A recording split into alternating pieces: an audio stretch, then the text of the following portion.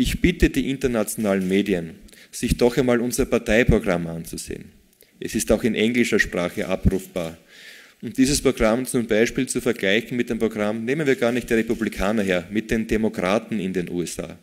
Und Sie werden ganz klar sehen, dass die FPÖ nicht rechts von den Demokraten steht, sondern links, wenn man sich das Programm ansieht. Noch einmal eine Partei, die rechtsextrem wäre, hätte in Österreich keine 2% der Stimmen erreicht. Wir haben 50% erreicht durch eine vernünftige Linie, aber auch durch klare Antworten.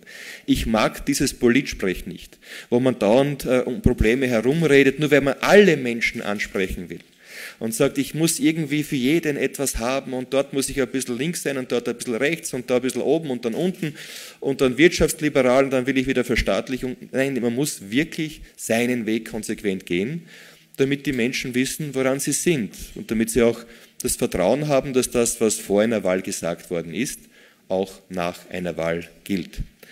Ich möchte mich nicht nur bei Heinz-Christian Strache bedanken für seine großartige Unterstützung, sondern auch bei Herbert Kickel, meinem Wahlkampfleiter, und beim lieben Martin Klier, wobei mich besonders betroffen hat ähm, ein Abkommen, das wir hatten, eine Wette nämlich zwischen uns. Martin Klier hat gesagt, wenn ich diese Wahl gewinne, lässt er sich die Haare schwarz färben. Und deswegen bin ich so besonders enttäuscht, weil das hätte ich wirklich gern gesehen, wie er, wie er aussieht.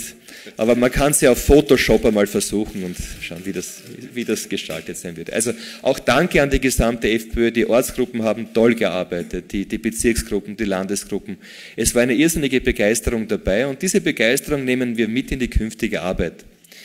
Und ich möchte mich auch bei Ihnen, bei den Vertretern der Medien, herzlich bedanken äh, für Ihr großes Interesse, äh, für die Berichterstattung. Ich freue mich sehr auf eine zukünftige positive Zusammenarbeit. Alles Gute. Yes.